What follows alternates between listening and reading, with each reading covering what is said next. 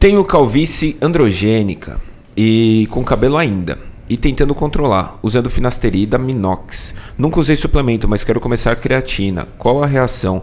Pois creatina aumenta a DHT e a finasterida baixa. Cara, é, é um... Então, isso maldito daí- foi o cara que fez esse estudo. Exatamente. Mozi. Que Maldito, merda, cara. velho. Que merda. Que cara maldito. Eu vi a relação que estudo, tem da velho. queda de cabelo pós-Covid, Isso mas é uma reação, Não, cara. isso aí isso é, essa- é um es- é fruto é- de um único estudo, né, Muzi? é, em primeiro lugar, é só um completamente estudo. tendencioso. Segundo, não é isso que o estudo fala.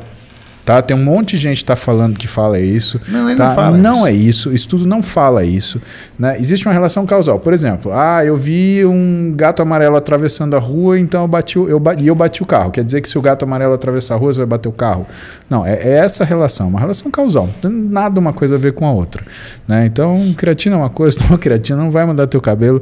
Se você quiser, a gente traz um dia o Guilherme, o Dr. Thiago Bianco Boa, aí. vamos trazer, vamos trazer o Gui aqui E pra aí a um gente papo. fala de cabelo até cansar, de finasterida. Toma sua creatina aqui, meu amigo. Se você tem calvície androgênica, o seu perigo tá ali, velho. Exatamente. Não tá na café, não tá na creatina não, velho. Com certeza. E o Rodrigo Parestrello mandou, Pere, Perestrello mandou assim: Eu e minha esposa Mari somos muito fãs de vocês. Oba. Ela até Obrigado. olha e fala: Olha meus amigos ali. Oba. Obrigado por tudo que vocês fazem, por quem acompanha e tem vocês muita inspiração. Beijo, grande eu sucesso para vocês. conta de quanto as pessoas curtem o nosso podcast juntos, cara. Não, o nosso podcast É, Tava com mais de pessoas- 11 mil agora há pouco. e Cara, é as pessoas vêm com... É É disparado, né, uma, uma- a gente consegue manter assim, um nível de, de audiência muito alto. E a, gente galera só tem a agradecer a vocês que demais, gostam. né? cara. Sim, Demais. pelo carinho de vocês, pela Não, vocês são consideração. demais.